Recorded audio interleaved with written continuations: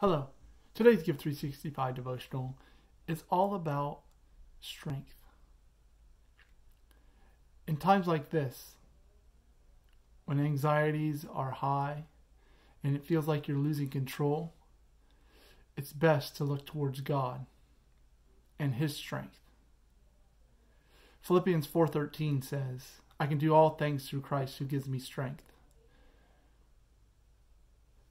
So I encourage you Lean on God's strength, not your own. Control the things that you can control, like your reaction to your kids, um, the way you treat others. I want to encourage you to also go to give365.org where you can search on anxiety or any other thing that's bothering you during this stressful time. We're all in this together.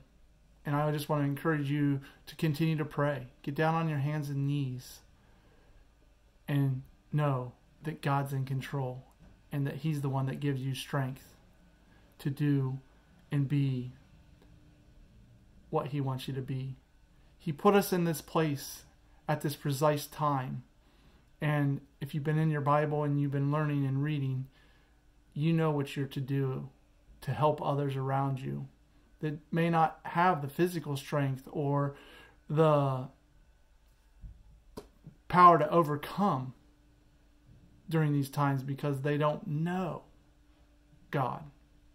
We are to be a light into the world as well. So I encourage you, be the light to those that are around you. I love you. I thank you. And I wish the best for each and every one of you during these difficult times. Have a blessed day.